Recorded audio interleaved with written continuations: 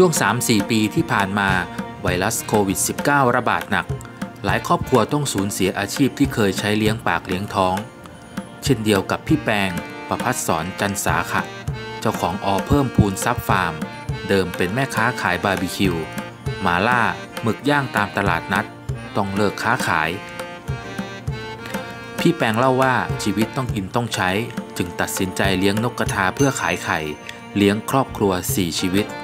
โดยเริ่มทดลองซื้อแม่พันธุ์นกกระทามาเลี้ยง 200 ตัว เก็บไข่มาต้มเล่ขายตามหมู่บ้าน ได้วันละ 200-300ถึง300 บาท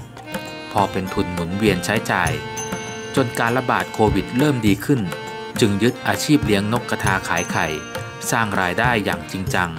และได้ขยายโรงเลี้ยงให้ใหญ่ขึ้น เมื่อเลี้ยงปริมาณมากขึ้น ก็มีปัญหาเรื่องของตลาด ปริมาณไข่นกกระทามีมากกว่าความต้องการ จึงคิดหาตลาดใหม่ๆ ปรับเป็นขายส่งแทนการเล่ขายเหมือนช่วงแรก นอกจากขายไข่แล้ว ขี้นกกระทาก็ยังเป็นปุ๋ยอินทรีย์ชั้นดี เก็บขี้นกส่งขายให้ชาวบ้านได้กระสอบละ 100 บาท นกที่ปลดระวางก็สามารถขายเป็นนกเนื้อ เอาไปทอดขาย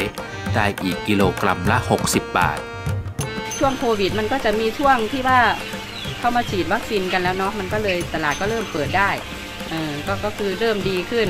แล้วเจ๊ร้านขายไข่เขาก็บอกว่าอยากได้ไข่เยอะอยากได้ไข่เพิ่ม เราก็ต้องเพิ่มจำนวนนกทีนี้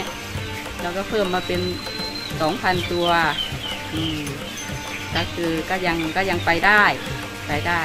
ขายได้ เราก็เลยอยากอืมมันต้องต้องมันก็ต้องเพิ่มขึ้นอีก เพื่อที่ว่า เพราะว่าเราจะทำอาชีพอาชีพเดียวมันต้องทำเพิ่มขึ้น มีมีรายได้จากทางนี้ทางเดียว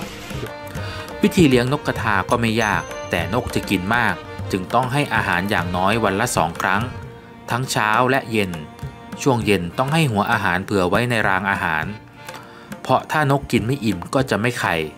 พร้อมเปิดพัดลมระบายอากาศตลอดเวลา ถ้าอากาศร้อนทำให้นกหงุดหงิดก็จะไม่ไข่เช่นเดียวกัน ช่วงเวลากลางคืนก็ให้เปิดไฟไว้